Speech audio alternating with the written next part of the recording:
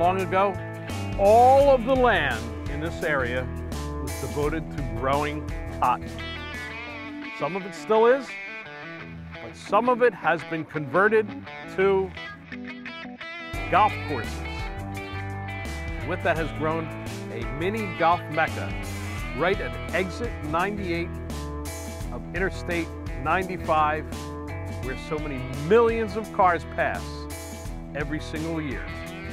Ones stop and take part in this special area of Southern hospitality and Southern golf. We hope you like it on this episode of The Traveling Golfer.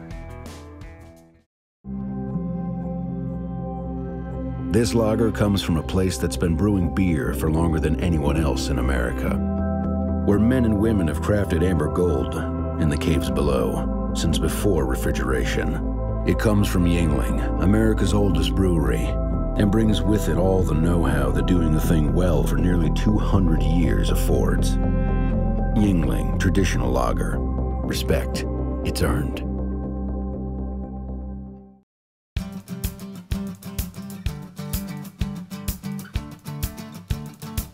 What a beautiful framework for golf.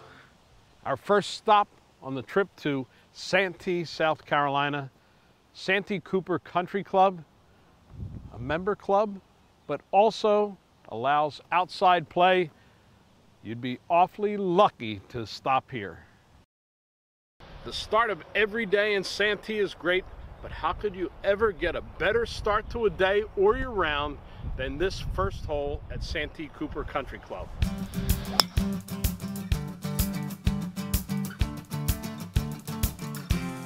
Sun shining beautifully in the Santee area. Todd Miller, General Manager of Santee Cooper Resort. And I guess that encompasses a few entities. It does. That includes several of our properties, uh, the Santee Cooper Country Club, which we're standing on right now, uh, Lake Marion Golf Course, and our villas at Lake Marion as well.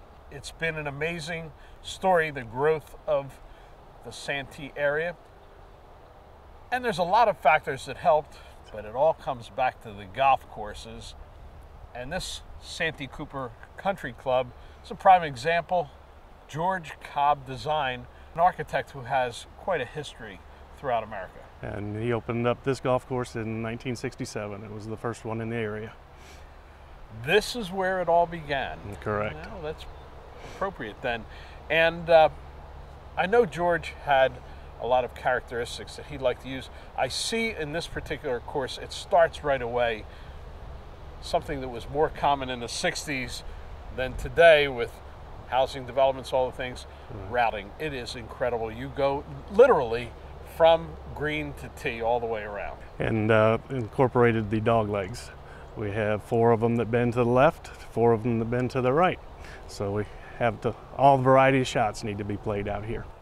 And you're right. I've seen George Cobb use dog legs extensively on a number of the courses that he's done. Part of that goes back to strategic design.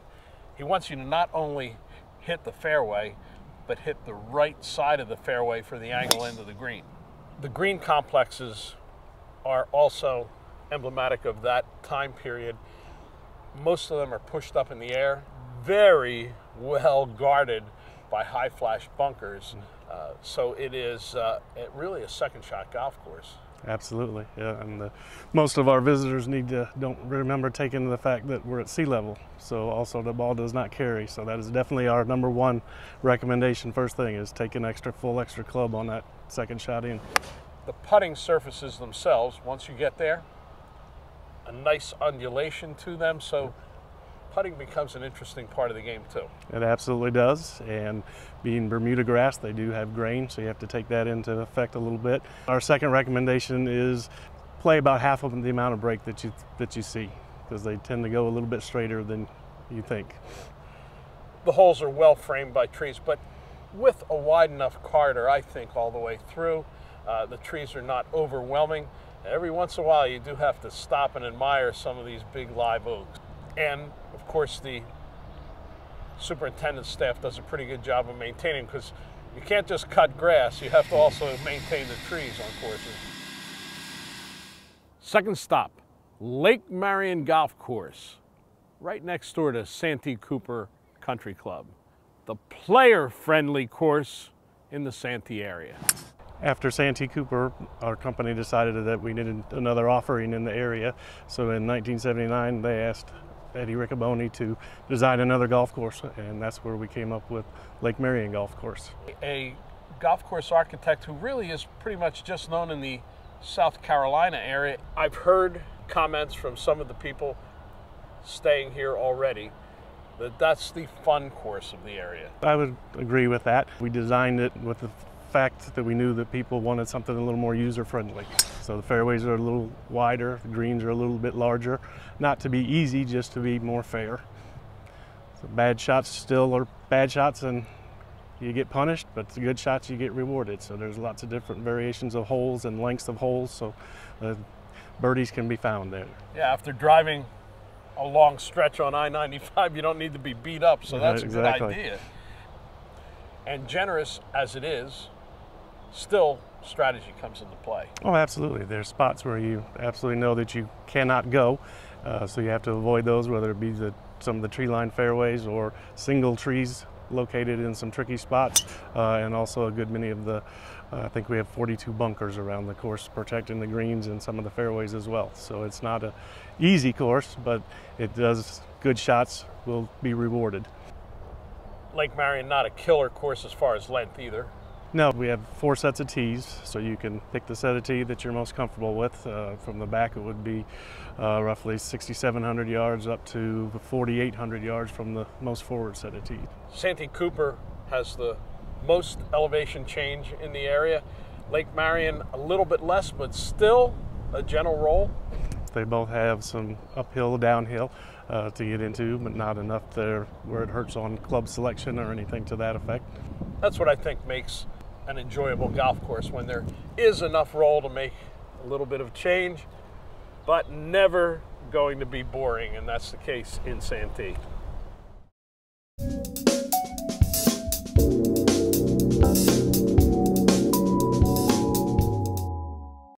Combining superior technology and a material advantage, the Exotics EX10 Hybrid raises the bar on performance. The EX10 features a new Japanese high-density steel cup face. HT980 high tensile strength steel can be engineered extremely thin, producing a hotter launch all over the face. Incorporating variable face thickness provides consistent, powerful performance, even on off-center contact. The cup face is combo brazed to the 450 SS Hypersteel body for an exceptionally precise bond. This exact process helps deliver Exotic's legendary distance and forgiveness. Engineers made substantial advancements to the slipstream sole by making the channels between the rails shallower while compacting the overall sole to ensure minimal turf interaction. The result is improved stability and clubhead speed throughout impact, regardless of the lie condition. 24 grams of heavy rear sole weighting produces a deeper center of gravity, making it easier to get the ball airborne from any lie. The pronounced cutaway heel and toe channels improve airflow throughout the swing. And with the material removed from these two areas, the slipstream sole is able to glide cleanly through the turf. The Exotics EX10 features two premium high-performance stock shaft options with the UST Mamiya recoil and Graphite Design Tour AD50. Exotics EX10, a material advantage. The third of our courses in the Santee area is also the youngest. Santee National opened in 1990, one week before Hurricane Hugo. What a welcome. But it's made a pretty good comeback, huh?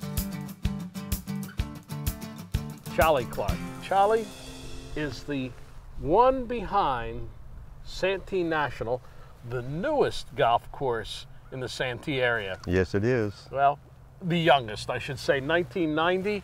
We started the course and uh, we moved a lot of dirt. We had to put in miles of irrigation. We were so proud of it. We were ready to open. And a week before we opened, Hurricane Hugo hit.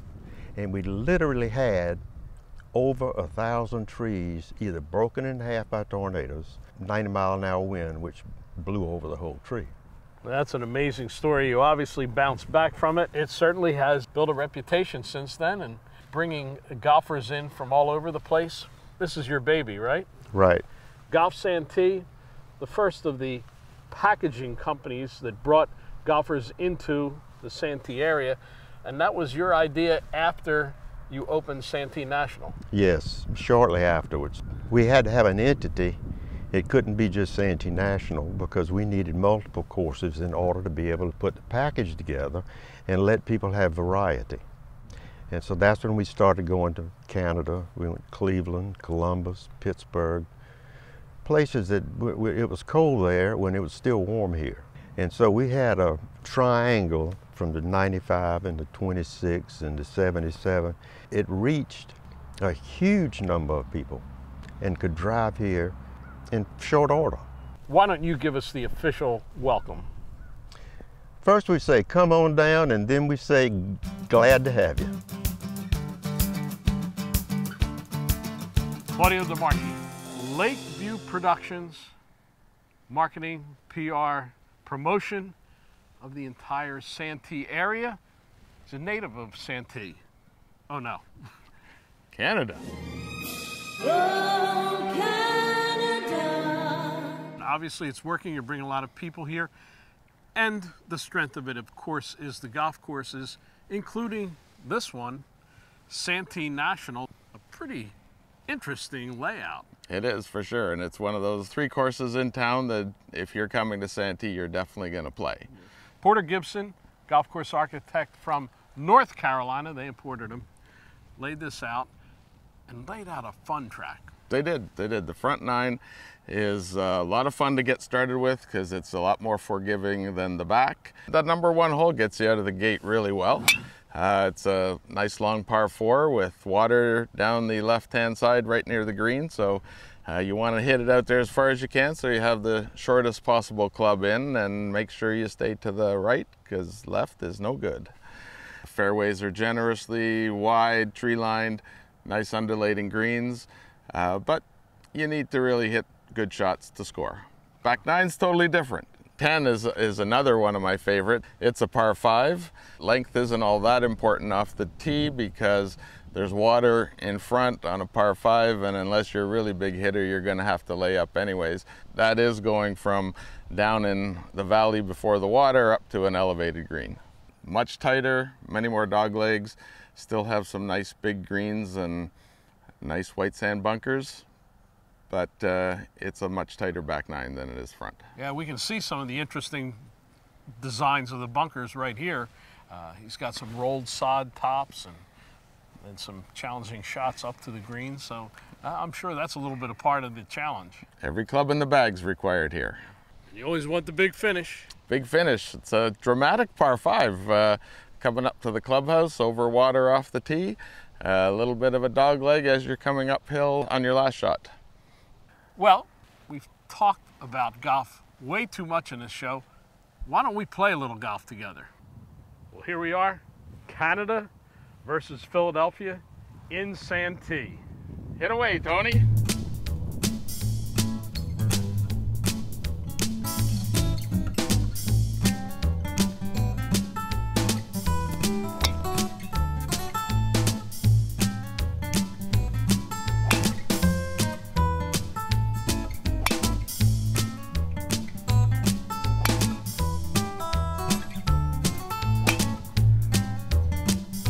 Give up.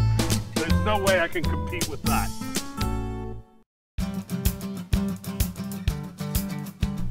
The little town of Santee has gone through an amazing development over the years from a time when, as far as the eye could see, it was all cotton fields, and now it is a bustling hub of recreation, golf, and hospitality. The man in charge Mayor Donnie Hilliard, welcome to the Traveling Golfer. Thank you for inviting me. Well, it's great to be in your town.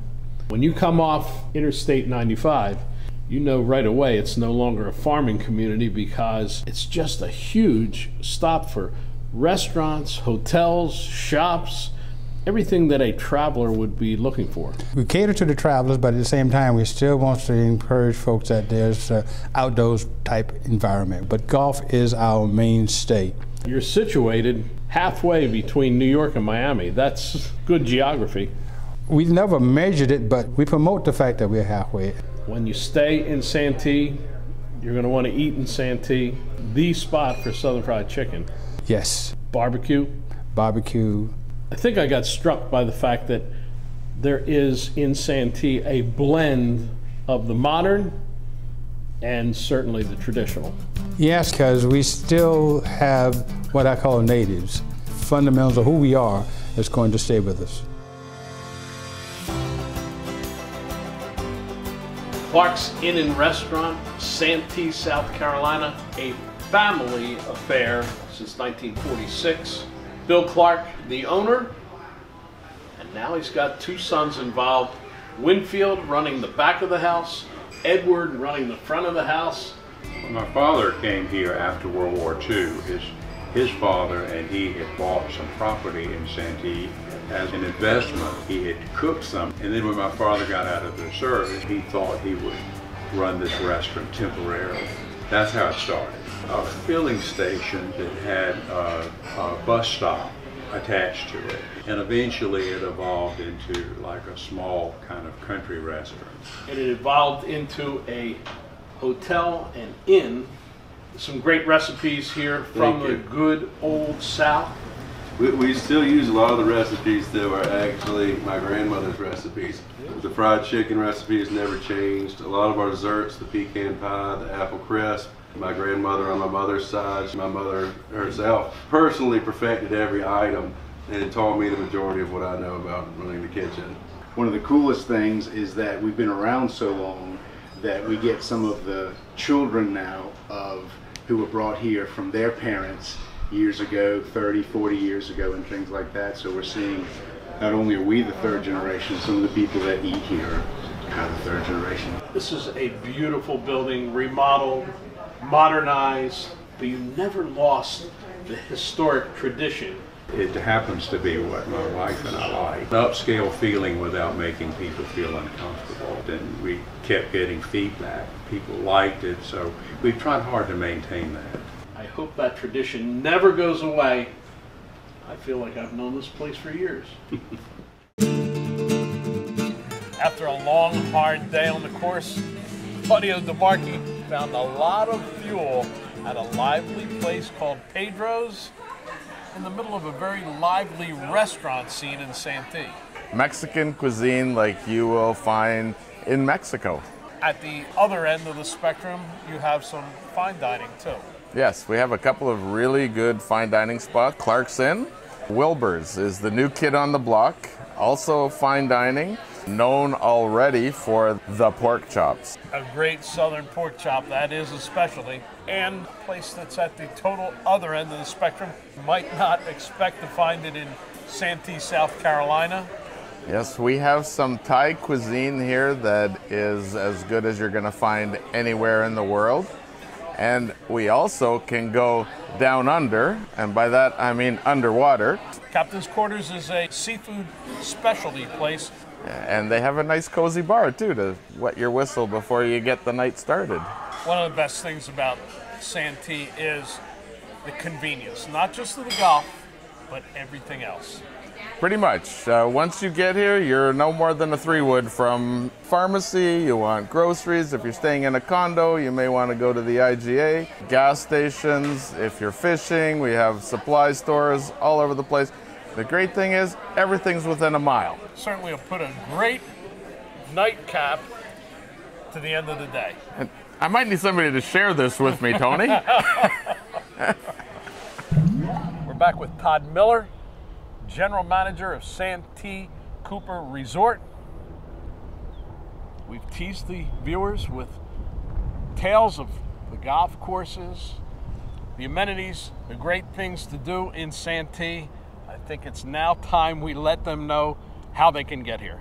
We want to make that as simple as possible. We like to say one call does it all. At our packaging office, Santee Cooper Golf, and we can book you in any type of lodging you want. We have any of the area motels in town. We have villas on the golf courses. We have villas on the water, and we make all the tee times for you as well. The villas are a fun way if you've got a group of players, whether it's couples or a bunch of guys who want to come in and play a little bit of golf. They can stay together, they can eat together, they can play cards. People wanted to stay on site and not have to drive too far to the golf courses, uh, so we can put you right on one of the golf courses. There you go. Check out everything Santee Cooper Golf has. Best way to do that, the website www.santeecoopergolf.com. The final leg of our visit to Santee, South Carolina. Like everybody else, back on Interstate 95. From Maine to Florida, millions of cars pass by this exit every single year. The smart ones stop, whether it's just to refresh or to play the great golf in the area. Hey, where you all going? What's the big hurry? Stop in here. They've got great golf, convenient places to stay, fun restaurants. Well, as I say, the smart ones stop here. The traveling golfer did. Hopefully, you will too.